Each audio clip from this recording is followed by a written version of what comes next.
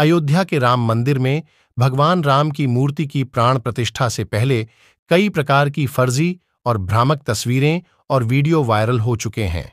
अब social media पर कुछ यूज़र्स एक वीडियो को शेयर कर दावा कर रहे हैं कि राम मंदिर के पास पुष्पक विमान और लवकुश देखे गए। इस तरह की कोई घटना अयोध्या या फिर राम मंदिर के करीब देखने को नहीं मिली। दोस्तों क्या हुआ? जब अचानक प्रकट हुई अयोध्या में माता सीता। का होना सभी को आश्चर्य में डाल रहा है। इसी बीच खबर निकल कर आ रही है राम मंदिर परिसर में एक अद्भुत दिव्य पुष्पक विमान देखा गया। अयोध्या में प्रकट हुई माता सीता। अयोध्या में प्रकट हुए। भरत अयोध्या में प्रकट हुआ। अचानक से पुष्पक विमान और अयोध्या में प्रकट हुए। अचानक से लवकुश।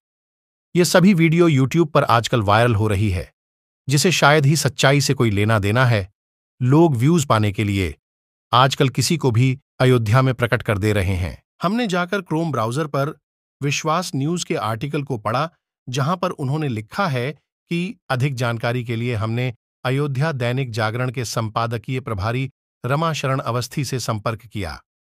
उन्होंने हमें बताया कि वायरल दावा गलत है। इस तरह की कोई घटना यहाँ पर नहीं हुई है। अंत में हमने वीडियो को गलत दावे के साथ शेयर करने वाले यूज़र के अकाउंट को स्कैन किया।